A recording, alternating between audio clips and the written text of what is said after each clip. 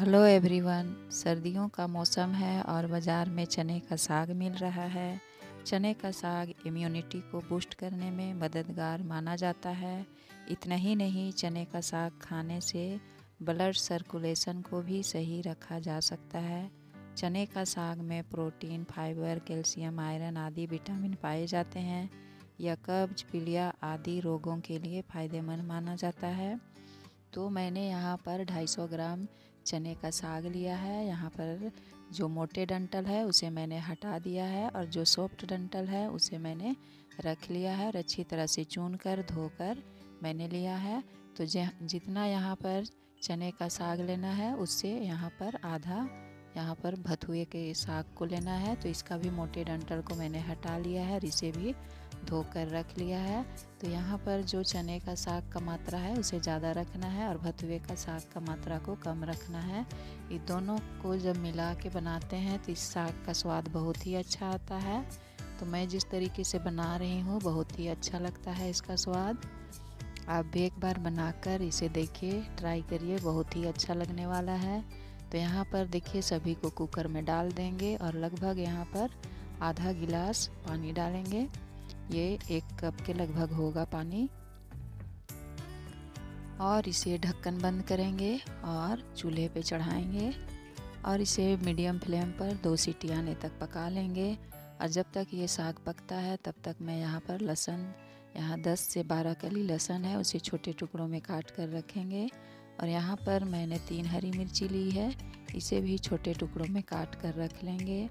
आप अगर तीखा कम खाना पसंद करते हैं तो आप अपने अनुसार यहाँ पर कम या ज़्यादा कर सकते हैं।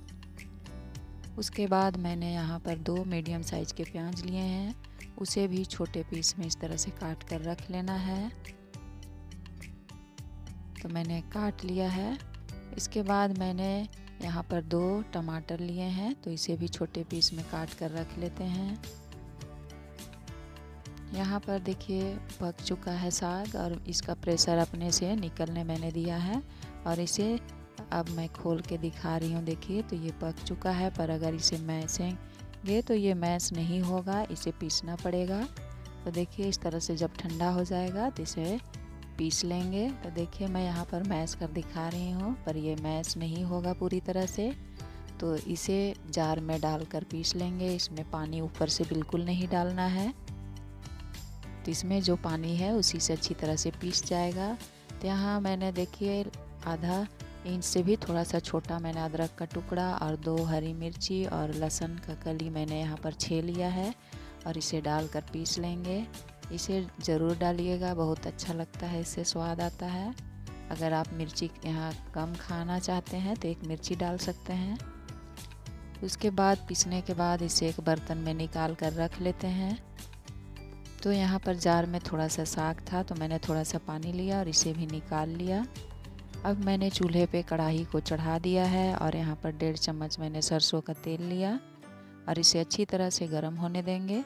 जब गर्म हो जाए तो यहाँ पर आधा चम्मच मैंने जीरा लिया है, उसे डाल दिया है मैंने और बिल्कुल लो फ्लेम किया है और यहाँ आधा इंच अदरक मैंने छोटे टुकड़ों में काटा था। तो यहाँ पर लहसुन, अदरक मिर्ची, प्याज सभी को डालेंगे। तो मैंने डालने समय बिल्कुल लो फ्लेम किया था और जब मैं सभी को डाल लूँगी, उसके बाद मीडियम फ्लेम कर दूँगी। तो अब मैंने सभी को डाल लिया है। अब मैंने यहाँ पर मीडियम फ्लेम कर दिया है और मीडियम फ्लेम पर ही इसे ब्राउन होने तक भूनेंगे, जब तक कि इसका कलर चेंज ना हो जाए, गोल्डन कलर। तो देखिए, यहाँ पर कलर चेंज हो चुका है प्याज का। तो अब मैं यहाँ पर मसाले डालूँगी। तो मैंने बिल्कुल लो फ्लेम कर दिया है। हल्दी, गरम मसाला, सब्ज़ी मसाला, कसूरी मेथी और काश्मीरी लाल लाल मिर्च को मैंने यहाँ पर आधे आधा चम्मच डाला है और यहाँ पर हींग मैंने डाला है बिल्कुल थोड़ा सा। चुटकी भर मैंने यहाँ पर हींग डाला है और सभी को भूनेंगे। तो मैंने यहाँ पर ज़्यादा भुना नहीं है। पंद्रह सेकेंड लगभग भुना है मसाले को और तुरंत मैंने यहाँ पर टमाटर डाल दिया। और लो फ्लेम ही मैंने रखा है। और यहाँ पर डालेंगे नमक, स्वाद अनुसार। और इसको डालने के बाद जब तक टमाटर नहीं गल जाता है, लो फ्लेम पर इसे भूनेंगे। तो देखिए, यहाँ पर लगभग मैंने दो मिनट भुना है लो फ्लेम पर। टमाटर बिल्कुल गल चुका है। तो मैंने यहाँ पर जो भी मसाले डाले हैं, अगर आप डालिएगा तो बहुत ही अच्छा यहाँ पर साग का स्वाद आने वाला है। बहुत अच्छा लगता है। कसूरी मेथी ज़रूर डालिएगा, बहुत अच्छा लगता है। तो यहाँ पर मैं पिसा हुआ साग को डाल दूँगी।